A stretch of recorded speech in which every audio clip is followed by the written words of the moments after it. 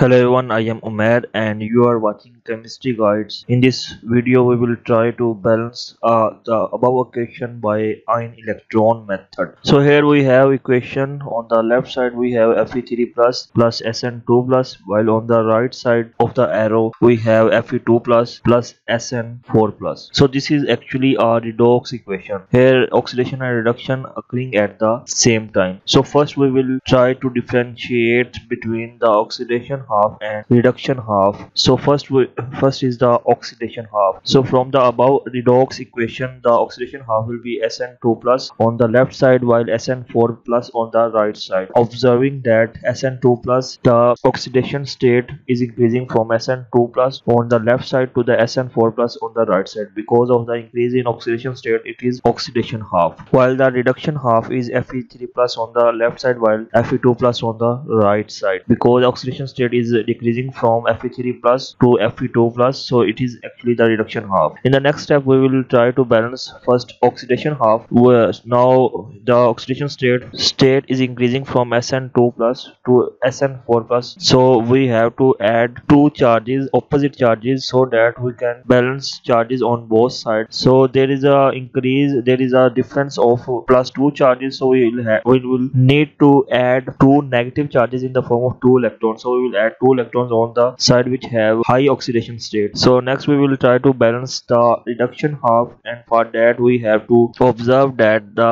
there are uh, there is an increase in plus one charge on the left side where there is Fe3 plus and while the on the second half there uh, on the left right side there is Fe2 plus. So we will have to add one opposite charge one negative charge on the side which have one one positive charge which has an increase of one positive charge. So in this way we will add an electron toward fe3 plus and in this way both sides will be balanced. So next phase is to balance the equations. So for that we will have to multiply equation number 2 with 2 and equation number 1 with 1 so after multiplying both we will get the these results and then we will have to add both the equations. So after adding both the equations the final balance redox equation will be this one. So sn2 plus plus 2 fe3 plus uh, arrow and then sn4 plus plus 2 fe2 plus. So this is the balanced redox equation and this is what we were trying to balance the equation. Hope you have get the whole process. If you have any issue you can ask in the comment box